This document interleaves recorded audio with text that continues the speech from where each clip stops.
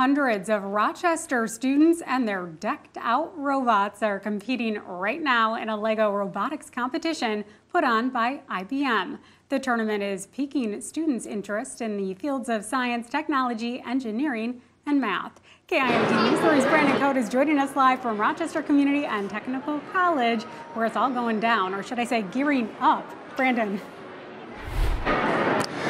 Yeah, Jess, I'm with two competitors right here from Holy Spirit School, and yeah, from Zoe and Sam, and we got a nice, cool robot right here they built, and yeah, Zoe, how did you build it? So when we were in our classroom, we had to get all, we had this big le Lego set where we had to like put all of it together, and here's our motor where we had to stick into pull and build on, and then when it, when it rolls, it can knock down the pins. Wow, can you show that for me?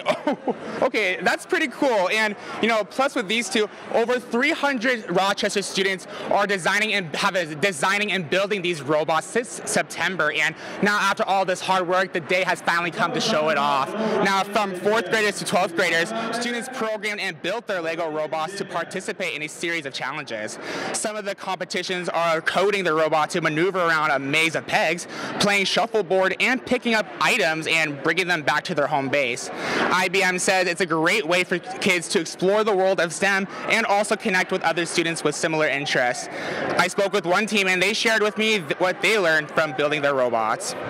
Just like working together. Yeah. Because like we made a lot of things working together. We've learned how to code different codes to make a robot move. Teamwork works better together. Yeah, Zoe and Sam had to head out because they're actually re revealing the results of who won this whole competition. Now, about 14 area Rochester schools are present here tonight with about 60 volunteers from IBM and community members helping out with the event. Live in Rochester, Brandon Cote, KIMT News 3. Thank you, Brandon. I love to see how invested those kids are in their projects. That's really fun. According to Minnesota Compass, just over half of the state's fifth graders meet or exceed state science standards.